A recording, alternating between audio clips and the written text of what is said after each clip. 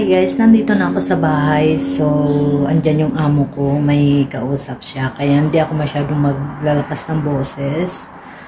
Ito ang musling ginagawa ko kapag kauwi ko galing ng day off guys. Papakita ko sa inyo.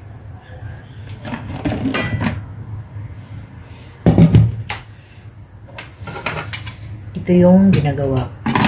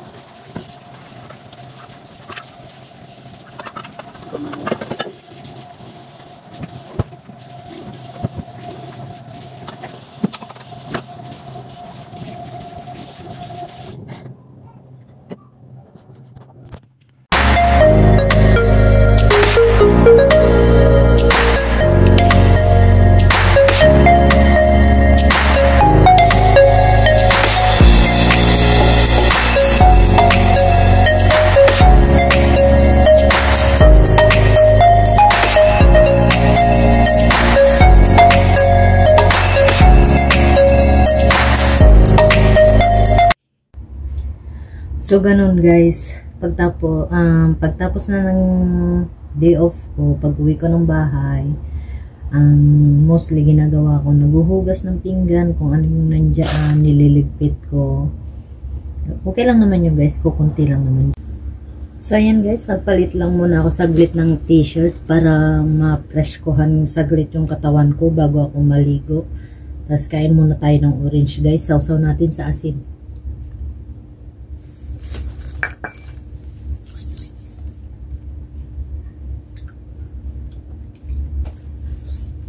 So, yun nga guys. Um, every day off ko, ganun nga. Kundi lang naman yung liniligpit ko guys. Kasi isa lang naman yung amo ko na nagka... Guys, nakikita nyo ba ako? Bumaba ako ulit guys kasi paihi ako ng mga alaga kong aso. Ayan. Diego, where are you? I cannot see you. Ayan sila. So, buhay OFW pagkatapos mag-day off. Ayan, magpapaihi ng alaga.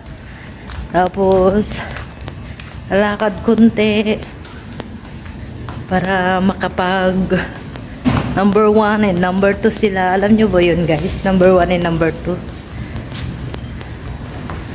Dito ako ngayon sa parking lot ng aming condo.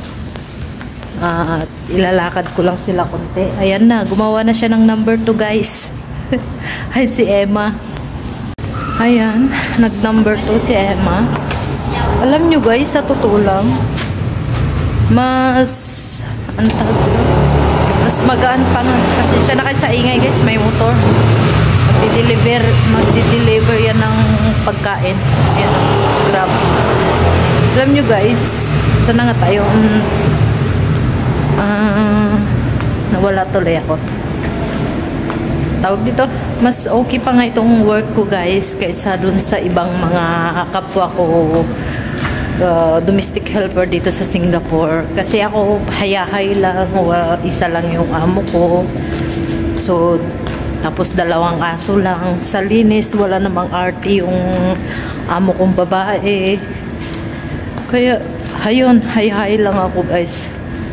Kahit na maliit ang sahod basta mabait yung amo, walang kaarte-arte, walang rekla-reklamo. Andyan yung time na, alam nyo yun guys, may sumpong naman kung minsan yung, lalo kapag may parating yung period ng amo ko. Hindi ko maintindihan yung ugali niya. Pero isang araw lang yun, pero pag maramdaman niyang hindi maganda sa akin guys, parang natatauhan naman siya at nagiging okay naman siya. Kaya yun, okay na to sa akin guys sa trabaho. Maglakad-lakad lang na alagang aso. Magmap lang sa umaga. Tapos may time pa nga ako guys na makatulog ng 2 hours. Mula 12 o'clock hanggang some, sometime, uh, minsan ang isang oras lang 1 to 2 or uh, 12 o'clock to 3.30 ganon minsan yung tulog ko guys kaya okay na sa akin at least uh, hindi masyadong mahirap yung mga gawaing bahay. Ayan. Kaya thankful ako na binigyan ako ni God ng ano, mabait na amo at saka hindi maarte.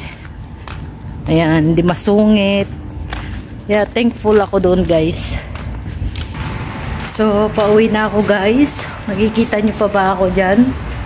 Pauwi na kami ng mga alaga ko sa taas. Baka si uh, tawag dito? Si Emma lang ang mag number 2 ito mga to guys oh.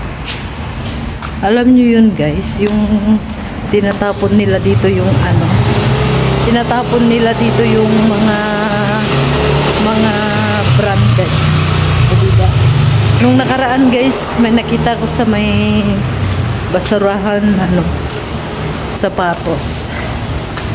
Ganda pa siya. Tapos karaan na naman electric fan. Oh. 'Di ba? Tinatapon lang nila, guys. Kung di naman ako mahiya, kukunin ko. Pero pag nahiya ako, hindi ako hindi ko kukunin, guys. So, ano 'yun? Dugo. Parang dugo 'yun. Tara na tama ng lakad. At nakakahiya sa inyong dalawa. Ay